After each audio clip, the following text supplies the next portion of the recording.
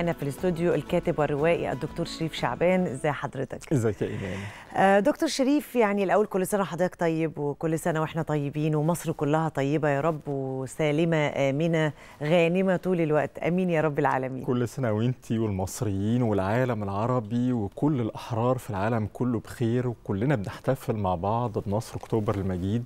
الانتصار اللي إحنا كل سنة على مدار سنين ربنا يدينا العمر ويدي مصر الحرية والعمر نحتفل بيه 51 سنة يا دكتور شعبان 51 سنة بنحتفل ويا رب فعلا العمر كله. بالظبط.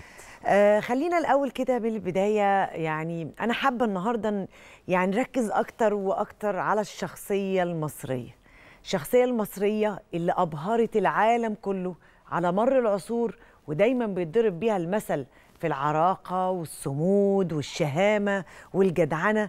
يعني الشخصية المصرية دي اللي بقالنا كام سنة عمالين نقول إيه يعني نربي إزاي؟ نبني شخصية إزاي؟ إزاي نربي أولادنا على الانتماء انه يفهم بلده ويفهم عدوه.